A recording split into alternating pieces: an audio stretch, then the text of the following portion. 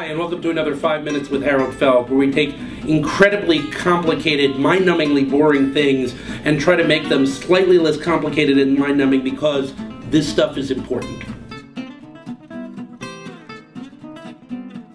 You know what? Time to actually get serious about the phone system again. For 100 years, we've had five fundamental principles that are the foundation of our phone system. We've worked this as part of our social contract, and this has been part of what makes our phone system so great and so useful for everybody. First principle service to all Americans. That's the first line in the Communications Act to provide for all Americans. That's been our commitment since day one on the phone network social contract.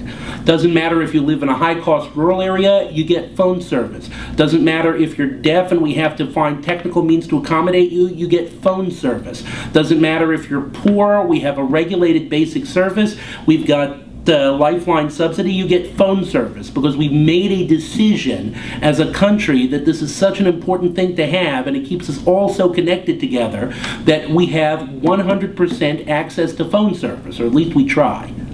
We must not be the first industrialized country to walk that back. We cannot be the first country that says, you know what, we don't take care of each other anymore. We don't need 100%. 95% is good enough. Principle foundational framework two interconnection and competition. The reason why we can have different phone networks in this country is because we have something called an interconnection requirement. Networks have to interconnect with each other. That means if you're a Comcast landline subscriber, they have to pass through the phone call when you call AT&T Wireless. If you're an AT&T Wireless subscriber, they have to pass through the signal to uh, uh, Comcast that's worked out very well. We were able to move away from some of the natural monopoly regulation from the Ma Bell days because we had interconnection for competitors. And we had a, hundred, a bunch of other rules that promote competition also. But what happens when those rules go away because nobody's a phone service anymore, because it's all magical internet? Well, if Comcast and AT&T Uverse can't make a deal about NBC programming, and so I can't watch The Tonight Show, that's annoying. If Comcast and AT&T Wireless have a peering dispute and phone calls don't interconnect with each other so that 50 million people can't call home, that's not annoying. That's a disruptive disaster.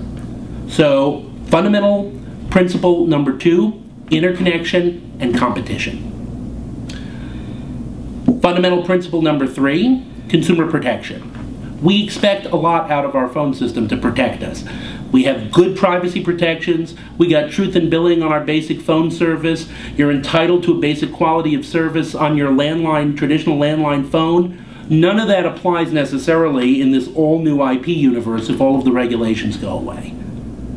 Nobody wants to live in a universe where the phone company can see how many times you call and send out for pizza and start giving you pizza ads or start selling that information to anybody else.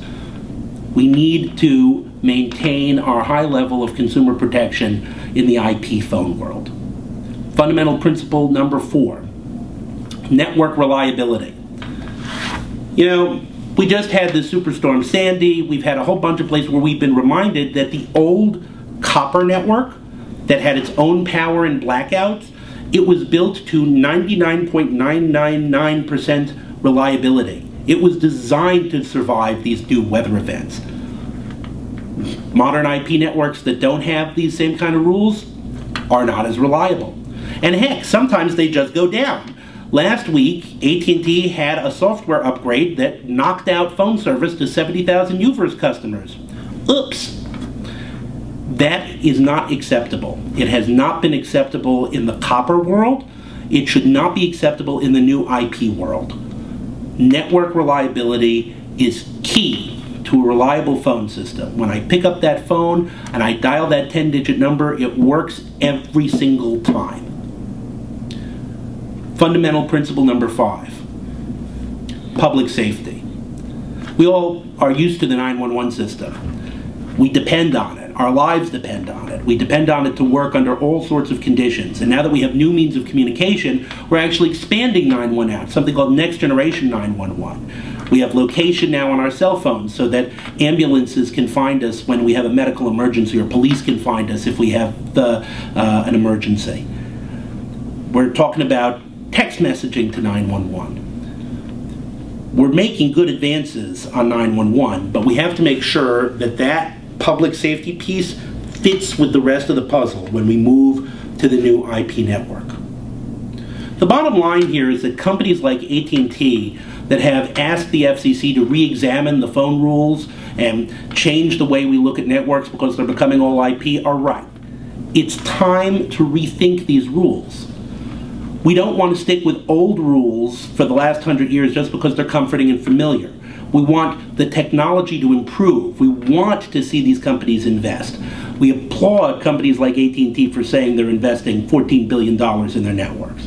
But while the technology improves, the social needs and the goals remain the same.